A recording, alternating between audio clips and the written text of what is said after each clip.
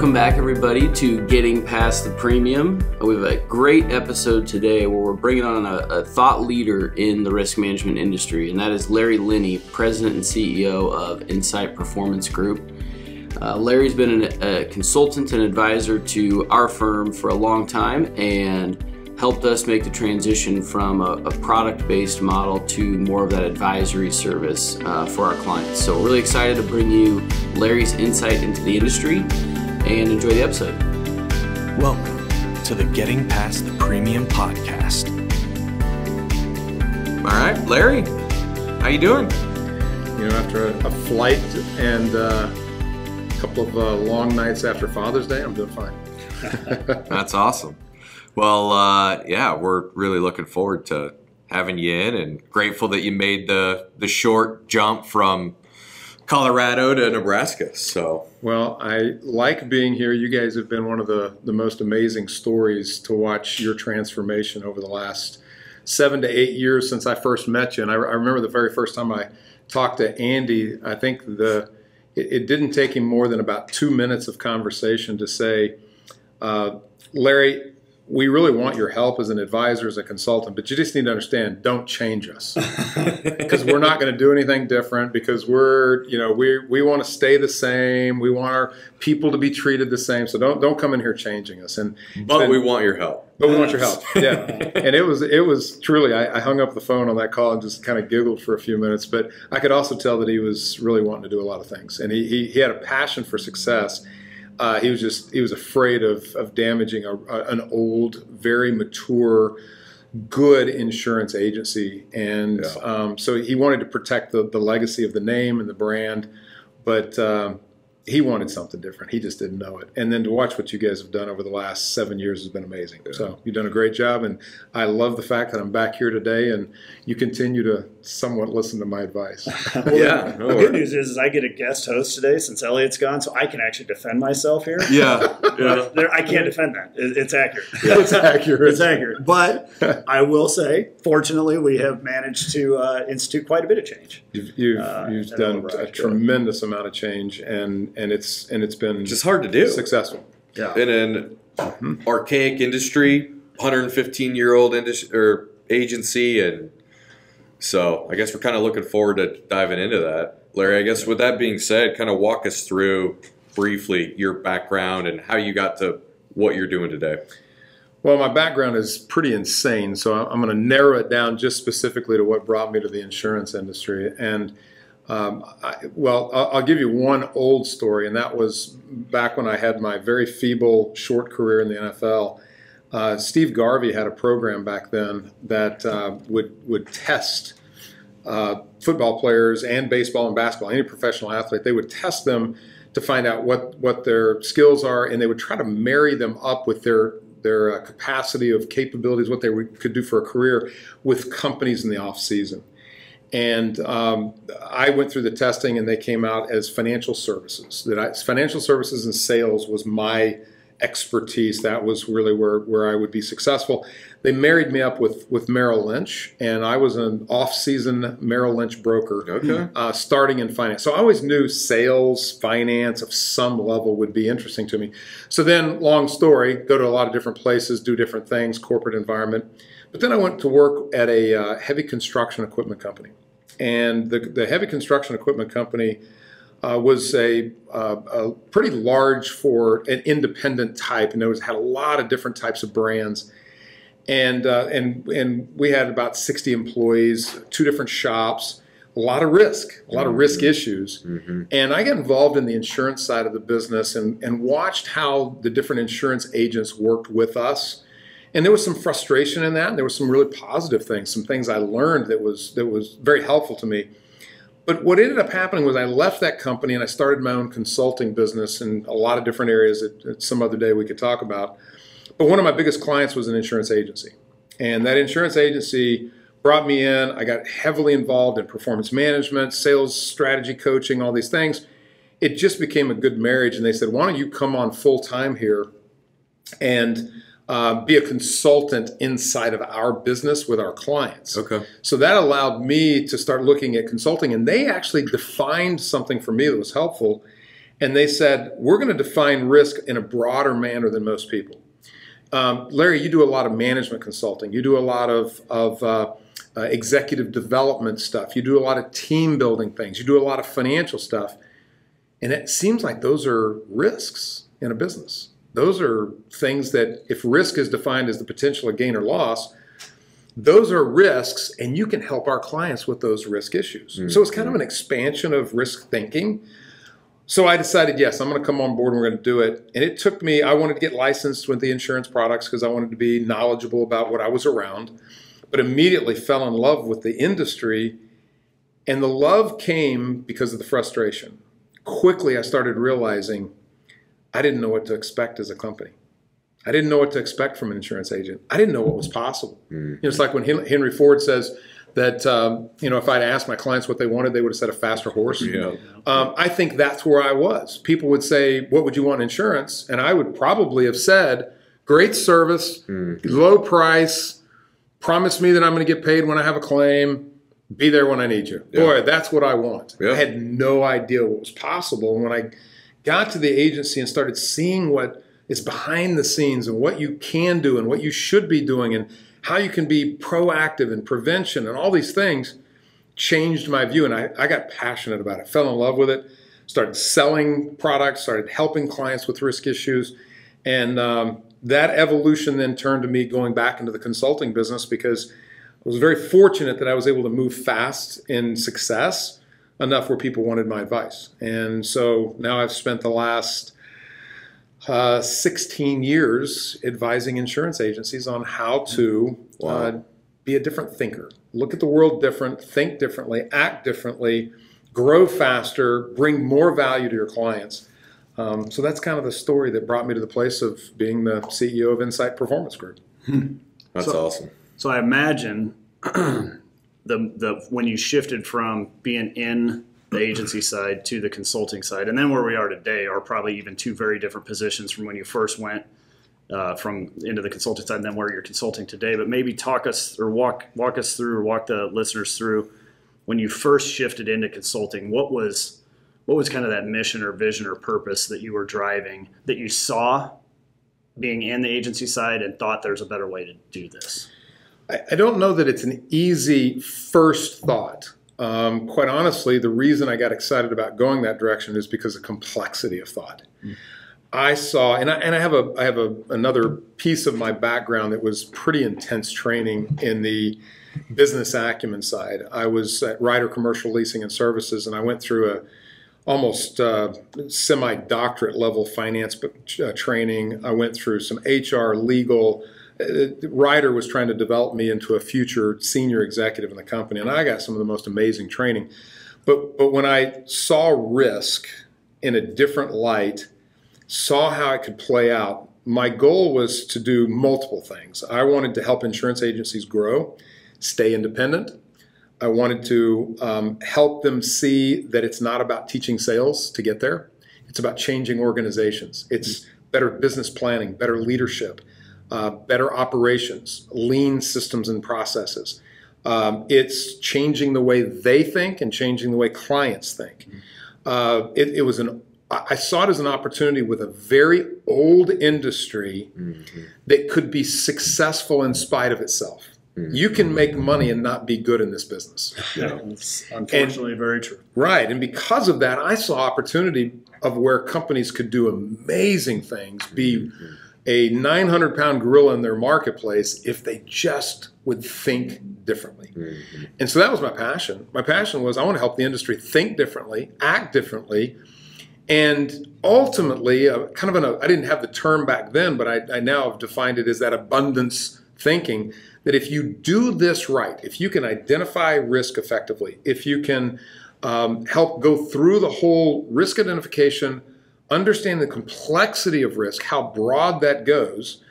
To my point, you know, one of the things that I, I, have emphasized my whole career is, you know, what's the risk of one of, of your management team not getting along and being effective and driving the company to success compared to the risk of your building burning down? Mm-hmm. Which do you think has more pop probability of happening? Yeah. So that's what I'm saying is really expanding that risk definition. Well, mm-hmm. all of that combined together brought me to a place of saying, if I can go out help insurance agencies and brokers out there completely look at the world different, think differently, um, they will dominate in the marketplace. And abundance happens because the client is better, the carrier, insurance carrier is better, Yeah. the agent's better, the agency's better, their families are better, their communities are better.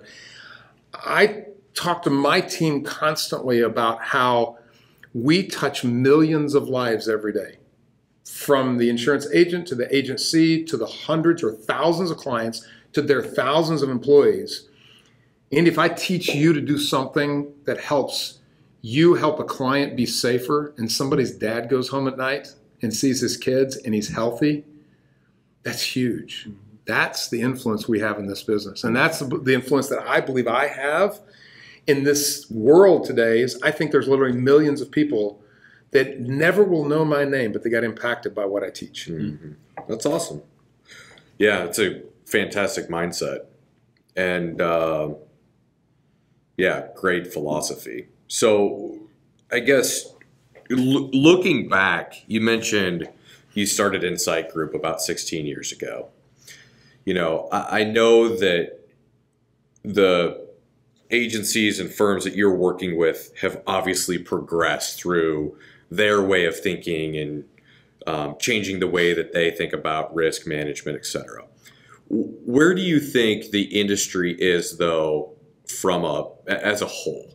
Do you think it's you know looking back when you first started InCite, uh, are people still are businesses and people still engaging and buying products like they used to, or has there been a shift in the industry as as you see it today?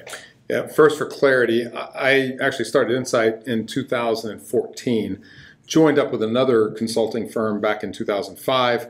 2014 bought that company and expanded it to more of what we do today. Um, the, the product before was a little more narrow. Uh, we've expanded it uh, quite a bit in 2014. Um, so, so what's changed? I- would tell you that first of all, everything that was happening back when I first got there is still happening in insurance agents today, uh, and and for a lot of different reasons. I mean, some people are, are lazy in the way they buy insurance, and they don't want to hear anything different. They're going to let people just quote their insurance and shift it every year, and hope that they get the best price over time. Um, so there's every type of solution out there, but but probably the best way I could explain it is. Um, I started studying early in my career, even when I was in the insurance business. I was studying where the insurance industry is. And one of the things that I identified was we we were we were trailing the financial services, uh, uh, financial advisory world about 20 years. And because of that, it gave us a path to observe, you know, and could we move faster into it and differentiate ourselves? And and real quickly, and, and especially sitting here today in Omaha, uh, a lot of that is was uh, uh, comes from the investment world that Omaha is so well known for. But if you look at um, at, at what happened is there became a shift in the 1970s, 1980s, where um, the ability to buy financial services changed. You know, I remember in the 1970s, I was interested in financial services, and I thought, be a stockbroker because that's the only place you invested. You had to find a stockbroker, give them your money. They would look at you and say, I have the licenses, I'm the smartest guy in the room. You just shut up and let me manage your money, and I'll make you money. And that was how you invested. That was the only mechanism you had. traded stocks for you. That was it. That was your only strategy. You couldn't you couldn't do it yourself. Well, then all of a sudden, um, there comes along this company, and Charles Schwab says, "I got a better idea. How about we let you do it? We'll give you the research. We'll give you the background. We'll do the trade." But we're going to let you start making your own decisions. Mm-hmm. And that shifted. And then what happened was there became a shift in the financial services world where you had transactional business and you had value. Mm-hmm. Value became people that did something different. They weren't stockbrokers. They were investment advisors. They were in- investment consultants. They were financial advisors. All these different terms started coming up, and many of those people actually eliminated their, their licensing. Uh, they said, "Look, I don't want to be regulated by FINRA. I don't want to be one of those. I want to be smart and guide you." And guess what happened? Those are the guys that start making the most money. So advice was worth more money transaction became worth less. Yeah. Well, we've been watching the insurance industry go through that same evolution, and it's and it's accelerated through the pandemic. It's accelerated with technology. It's going to continue to accelerate, and the greatest value is going to be from people that have the knowledge to give advice and guidance, and it's going to be broader. I mean, I remember back in 2007, I was coaching a gentleman that's now one of the top financial advisors in the world. This guy was relatively new in the business and we were talking through different strategies of, of how to be effective in in what you do and um, was was guiding him towards let's think broader than just my investments and he came up with about 38 different things that in that are involved in wealth. 38 different areas that had something to do with my wealth. From tax to preparation to my own personal health. What good is having all the wealth if i don't have any a good health? Um, to uh, to budget management, and it was 36, 38 different items. Well, that allowed him to then go to a buyer or to a person and say, you know what your wealth is? It's these 38 things. How are you doing in managing all of that? Mm-hmm. And everybody looked at it and said, I don't know. Hmm. That's exactly right. I'll help you. I'll help you figure out how those things all fit together. I'll monitor them for you, and I'm going to give you guidance. Now, I may have other experts, a tax expert, a legal expert. I may have them involved, but we're going to guide you. It's the same thing that we're in today in the in the insurance industry and risk management industry. As advisors, the greatest financial reward for us and the greatest value to the client is to take all the complexity that exists and help the client navigate that. Let me tell you where you're at. Let me tell you where the potential of spending money you don't want to spend looks like today. And by the way, it's a lot more than 36 in the financial services world. Hmm. You know, it's a much bigger number. But if I can give you clarity and guide you through that, I now will get the most money Yeah. and I'll bring the greatest value to the client. And someone else can do the transaction. Hmm. That's what's shifting at this point in time. It's That's- an exciting conversation. you know, I mean, there's so many ways places you can go with this. All right, so I want, I actually want to piggyback a little bit on a question you asked because at InCite Performance Group, I, I know that you know many, uh, all of the partners in there are at least thinking this way and are at different levels of becoming, you know, the broader advisor. Yeah. But like industry wide, what you see, one to ten, where is the indus- industry in actually being what you just described versus the product sale it was? Are we anywhere near even the halfway? Wow. Uh, it's not been a it's not been a priority priority for me to try to monitor where it is, partly because I think the uh, the end keeps changing. No. You know, if I, if I said from day one, where are we? We're probably not quite to halfway. Yes, there's transactional stuff. I mean, you can see it. I mean, you can buy things online now. You don't need a you don't need a broker anymore. So certainly, a lot of that transactional business has advanced over time. Um, and and you know what? There's certain people out there that are absolutely getting it in this space, and they're doing insane amount of things. I mean, I I coach 13 uh, uh, advisors out there that believe they can write uh, a million dollars worth of commission income in a single year. That's unheard of in the past, except for you know some exceptions, a few people out there. But this group is doing the is able to do these things because they they're doing it through advice. So I'm seeing really some pockets of that happening. But oh my gosh, there's still people out there that are driving quotes, and clients are driving quotes. So it, it's a slow process. Um, there's a lot of factors in the world of insurance and financial services, carriers, insurance carriers, companies, and agents that keep allowing them to be lazy and not have to make the move. Exactly. It's gonna. It's pandemic forced some movement. It forced some change. Yeah. Uh, we'll see some other things that will, and I, I think it's not going to be this steady growth towards. I think it's going to be this, and this. Different events, different activities will change, and a lot of it changes by market because somebody gets it. And when somebody gets it, the competition either has to start figuring it out, or they're going out of business. That's where we're seeing most of the changes. But no, it's not prevalent. It's not dominant, which is so opportunistic. Because if you get it, goodbye, everybody else. Yeah. You well, know? that's the that's kind of the framework or the reason behind the question is we're gonna have a lot of people that watch this that are gonna be absolutely still probably on one end of the spectrum. Some that are gonna be all the way on the other. But my my guess is, if we had the industry, the entire industry watching it or listening, the lion's share are gonna be closer to kind of the original model. Yeah, and another part of the problem there, Andy, is that a lot of people will listen to this type of message and go, "Yeah, yeah, yeah, I get it, I get it." Right. They're not willing to invest and go deep and go, "What does that really mean? Mm. What does that look like? What do I have to do different?" There's significant costs, risks, everything that comes along with trying to make a change like that. I mean, what, what you Dis- were talking, discomfort. hundred percent. Yeah, you have to get out of your comfort zone. Oh man, I, mean- remember when I first got to the agency, and they were wonderful, and we went through great transformation. But the CEO asked me, uh, "Larry, can you change us? Can you make us better?" Because the first year I was there, I sold a lot of insurance, or was involved in the leadership of selling a lot of insurance. And so the CEO looked at me and said, "Larry, can you help us?" you know, build it and they will come. Hmm. We want more stuff. We want more resources. We want value add. We want to be advisors. We want to be consultants. Can you help us? I said, absolutely, I can do it. So I build it, and all of the producers were going, yeah, yeah, we want this, we want this, we want this. And I built it, and nobody did anything different. Hmm. They didn't. He built it. They didn't come. They didn't come. They, they didn't want to do anything different. They're going, oh no, I want you to build stuff so everybody else did things. I just want to keep doing what I want to do.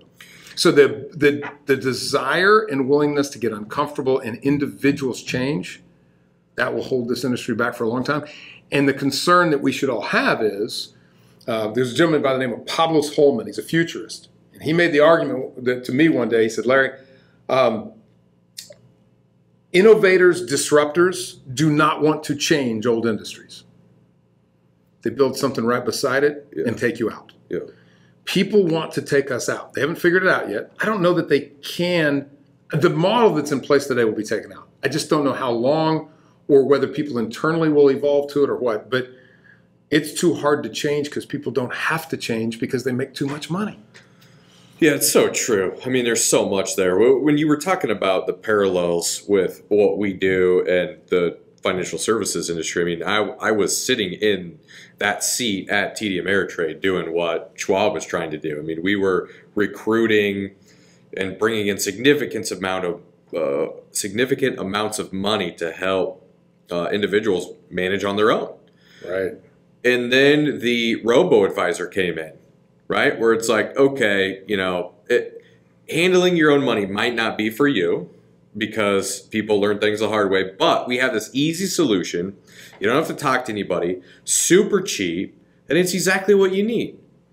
And people are pulling back from that now in the financial services industry. It's the equivalent of like Berkshire Hathaway 3. You know, we see that as risks in the risk management industry, but you can't replace the value of an advisor the way that you're referencing the value of an advisor.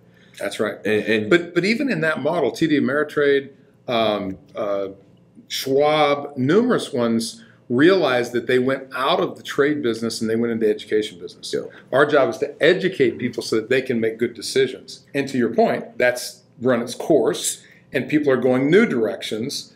And now you've got the complexity. The interesting thing about the insurance industry to the financial services industry is it was trailing like this, and now it's gone like that. Because what's happened is the financial industry is no longer operating off of fundamentals. It's all it's it's being driven by by uh, uh, Twitter, by market influence, things that are not fundamentally sound. yeah, it's crazy. Whereas the insurance industry will say fundamentally sound. It's going to be risk based because it's going to get better at it because they have more data to allow for better underwriting, better better management of risk and identification of risk.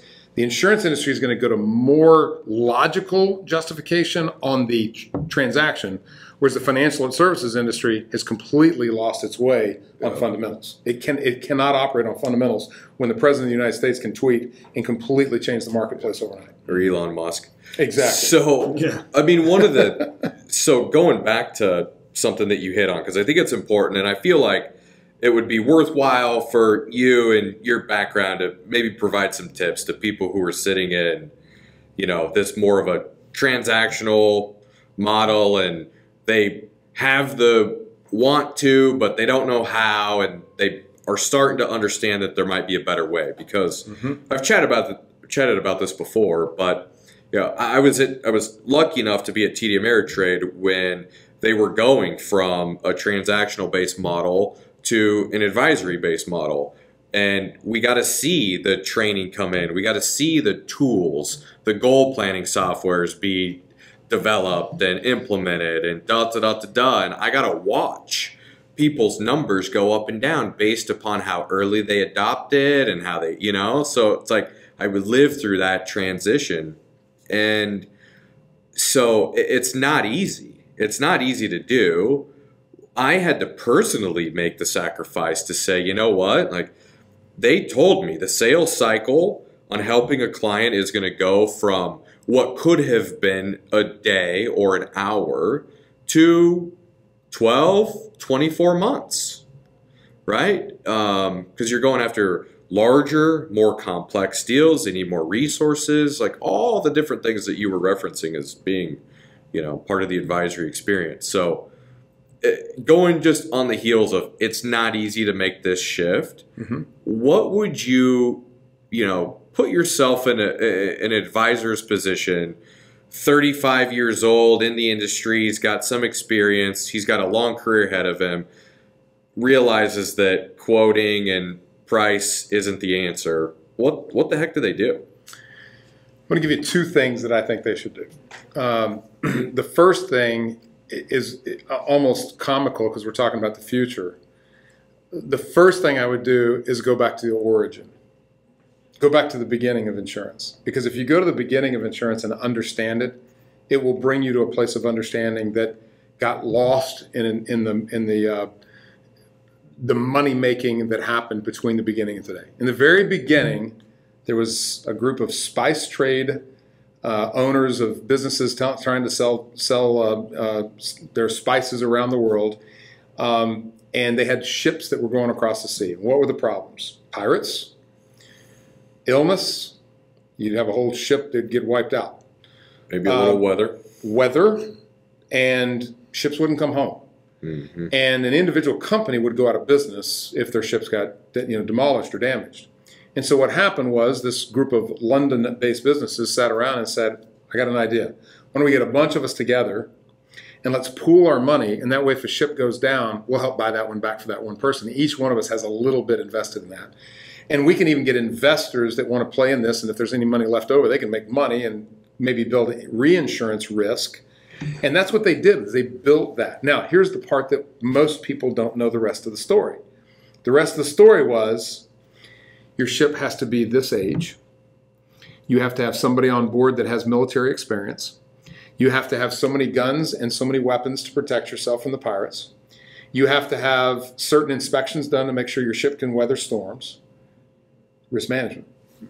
Mm-hmm. All of the things had to be right to put yourself in the pool if you truly understand the origin and now you think about the risks that exist today and realize I need to think about all the things that could influence what happens, um, it will change the way you think about insurance. That the best thing I can do for you as a insured is not just go schlep and find a price.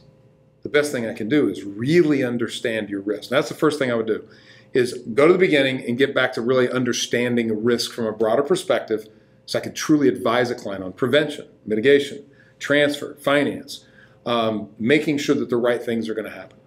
The second thing that I would do, and this may be the most important thing, and that's to be very purposeful and specific in three areas of development. I have to become an expert that's constantly learning more about insurance, insurance products, how they're structured because they change constantly. Uh, language is changing, carriers are changing.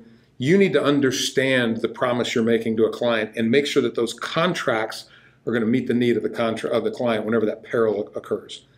Second of all, you need to develop, develop your business acumen because if we're going to this advisory space, mm-hmm. you better understand how business work. Business acumen means good business judgment. Mm-hmm. I can't have good business judgment, decision making, unless I know all the components, how they relate, interrelate, and how they will engage towards these risk issues. I need to understand finance, operations, um, economic issues, political issues. I need to understand as much as I can. So, business acumen read, read, read, read, read, study specific areas. And then the third thing I used to call it sales skills, but I will tell you today, I, I've, I've changed that to behavioral science.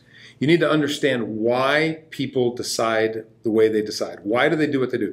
Human beings are predictable, but they are irrational. Mm-hmm. So irrational, being irrational allows us to influence them. Predictability allows us to guide them effectively. We know how to get them to a certain place. Sales skills are learning techniques of how to sell. Behavioral science is understanding why you will do what you will do. I guarantee I can influence you if I understand those things effectively. Mm-hmm. So, business acumen, behavioral science, technical knowledge, study those purposely every year, get better. Go back to the origins, look at insurance, and see how it applies today in a more, more complex world. If you take that path as a 35 year old producer, Sky's the limit. you will dominate. Yeah. You will dominate. It's pretty awesome. I mean, at the end of the day, that is not as easy as slinging a product, right? It's a lot. It's a, well, I think it's harder to go get quotes and sell insurance. I think it's harder. Yeah. I think it's a lot easier. It's hard to learn what it takes, but it's a lot easier to sit in front of somebody and say, I really care about your business. I'm going to learn everything I can, and I'm going to be in a long term relationship in solving every risk issue I can for you um, because it's going to make your it's going to make sure that your employees go home healthy. It's going to make sure that they go home at night. It's going to make sure that they feel good about themselves. They're better parents. Um, man, I find that to be really easy. So, as an advisor, on the question he asked, you put in that work, winning business becomes a lot easier when you're when you've got that skill set. Uh, a lot easier. The right business. The right business. The right You know, business. that's the- It's a lot easier. I mean, People are going to leave you for how you get brought on, and you know we we chat about that a That's lot. right, And, yeah. and so it's way more difficult. We the most trusted advisor that's been studied for decades is the is the CPA. They get a seat at the table for every decision making Yes. uh, with a business owner, but the risk management guy doesn't have a seat at the room. And I think that's kind of what like we deserve a seat, and we need to. I mean, I, I should say that differently. We need to earn a spot at that seat because what we do is so important. that's right. That's right. That hard question. I think it's hard to constantly go out and get the volume of people that will give me the ability to quote and then go put my whole staff to work and put together insurance quotes and, and all of the follow up activity and then go propose it and lose 80, 90% of the time. That's hard. Just heard the stat: ninety-two percent. That they lose. Ninety-two percent stay with their current relationship. Yeah, that that's hard, in my opinion. I think that would be a hard living to make. Yep. I find it easy to go out and be an advisor, convince people to think differently, and convince them that the way I will do it for them is better, and pick up broker of record. What's hard is becoming that person. Yeah. Now, once you become it, it's so much easier. It's the easiest. I think it's way too easy. It's hard becoming that. That's the effort that takes. Mm-hmm. Get uncomfortable, do things you're not you're not comfortable doing, learn things, put in time investment. The number of insurance brokers and agents out there that have told me, Larry, I don't like to read. Mm-hmm. Larry, I don't want to put a couple hours a day into reading. Larry, I don't really want. They're right. They're right. Yeah. And boy, that is so sexy because that means all the rest of us are going to kick the crap out of them. Yeah, it's a major opportunity. So when you hear that, you know, it's it's like when I played football and in high school, and a lot of my buddies are like, "No, man, I don't want to go work out. I don't." And you hear eight or nine out of ten that say, "I don't want to." Hmm. So if I do, what does that do for me? Puts me ahead. That's the game. And right now, the game is people don't want to because they don't have to. But what if you do? What if All right, so I'm gonna throw a couple questions at you, and then well, let's wrap up. What's my favorite color? Oh, I'm sorry. yeah, I already know that one, Larry. uh, is it going to take an event to change the way, to dramatically change the way that risk management is delivered today?